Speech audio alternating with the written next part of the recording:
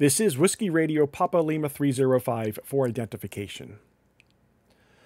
That's right, in addition to being an FCC licensed amateur radio operator, I'm also a licensed GMRS radio operator, Whiskey Radio Papa Lima 305.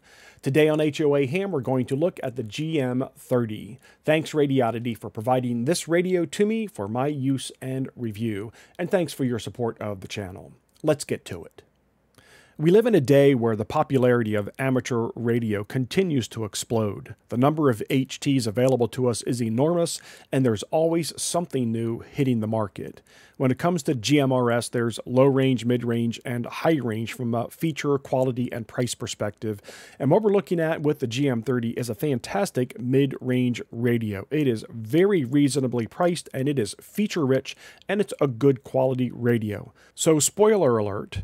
If you're interested in investigating GMRS and you want to pick up a single radio to see if it's for you, to see what kind of repeaters you have in your area, or if perhaps there's some simplex activity going on where you're located, or you want to join a group or a club that uses GMRS, this is a great radio. I'm going to highlight a few of the key features of the radio. We'll do an output test. I'll show you some hands-on functionality on the actual radio itself. We'll do a sound quality test radio to radio here in the QTH. And then I'm going to play a clip that shows me using the radio on the 14th floor of an 18 story hotel at LAX. I was completely encapsulated in concrete and steel.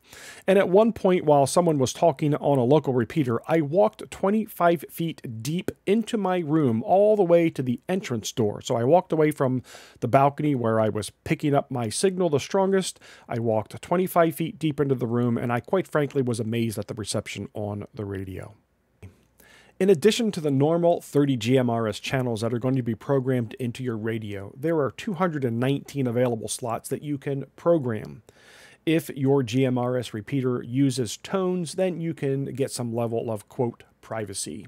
You can also program in UHF and VHF ham radio channels and repeaters. You won't be able to transmit on those frequencies, but you'll be able to listen to your favorite local ham radio repeater. You can program the radio using the front panel, or you can use the CPS software that's available on the Radioddity website. Let's get this unboxing out of the way HOA ham style. We have all the items we expect to find in our package, the lanyard, the earpiece microphone setup, a manual which is pretty thorough and written in pretty good English. Nice job on this Radioddity. Radioddity seems to be doing a pretty good job on their manuals, and we appreciate that. We have our antenna, which is removable on this GMRS radio.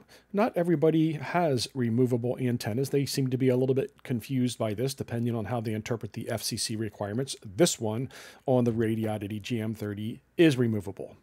Then we have our wall brick that allows us to charge. We have a charging cable, which is USB-C.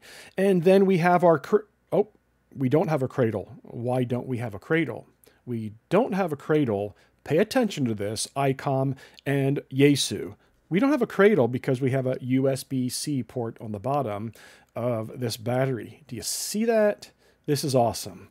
So this will charge USB-C independent of the radio or with the radio. Nice job, Radioddity. We all love USB-C. Everyone else needs to get on board. GMRS channels are pre-programmed into our radio, and the screen on our radio is actually quite good. My camera's not picking it up very well. We're on channel 1. Let's go ahead and power up and see how many watts we pump out.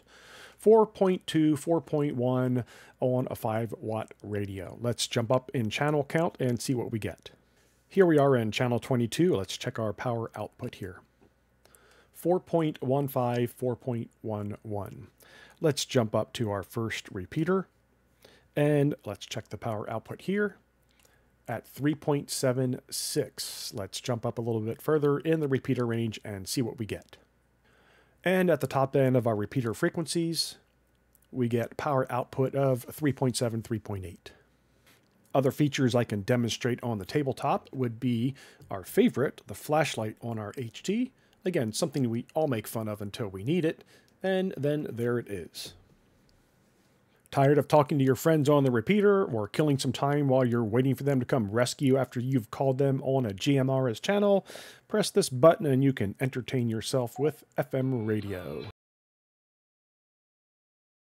And of course, no HT is complete without the opportunity to scan NOAA weather channels. That's accomplished by pressing and holding the button with the blue cloud until it starts to scan and picks up the local channel, which is the strongest.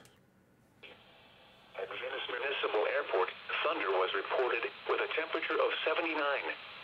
It was mostly sunny with a temperature of 80. Of course, that's an awesome and necessary feature. The sound quality on the GM30 is pretty good and the speaker is quite loud. I'm going to place my microphone right next to this unit and take the other unit to the other side of the house and just do a quick test so you can hear the clarity of the sound. Whiskey Radio Papa Lima 305, testing on the GM30, no response required. Check, check. Up next will be the clip from the 14th floor of the 18 story LAX Marriott. I'll say 73 now, friends, and we'll have some more information on GMRS radios coming in the near future. I'll be monitoring until I can and uh, talk to you guys later. I'll be clear on your final.